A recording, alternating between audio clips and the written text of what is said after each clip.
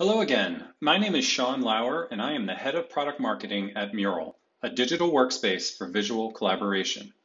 Today, I'll be walking you through Mural's master project documentation template for Confluence.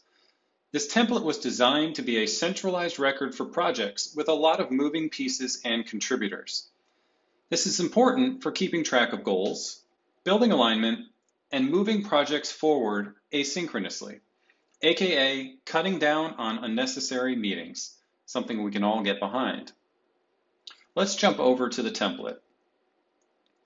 In the first two sections of this template, document the why of this project and your objectives. This will ensure the entire team is focused on the same goals. You can outline things like unmet needs. Why are we doing this?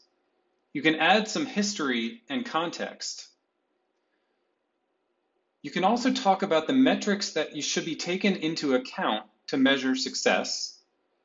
And you can list the stakeholders that have requested this functionality so you can remember who your audience is. You can also talk about how the feature works, how it's used, and what the experience will be like for the end user. In the user stories section, Follow the prompts to build an outline of the problems your customers are facing and how you'll solve them. The next section is space to dig into the previous ways you've tried to solve this problem and what you've learned. Use the explorations and decisions section to record any approaches that were considered in brainstorms that you may not have already taken action on.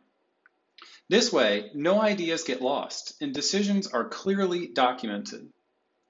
You can use the limitations section to list any dependencies that will affect this project. You can also jump into how you're taking this product to market with an implementation plan. Next, if your project has releases, outline them in this table. Include the release name, the value it adds, and the scope. You can also set a status for each of the releases or next steps from this project to track progress and include accountability. Finish off with an estimated release date.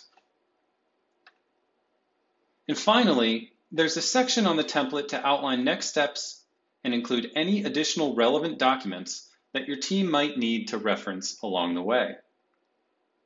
We hope this template helps your meetings be more productive and your projects stay on track.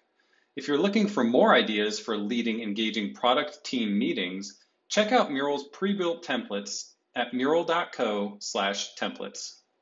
Thanks.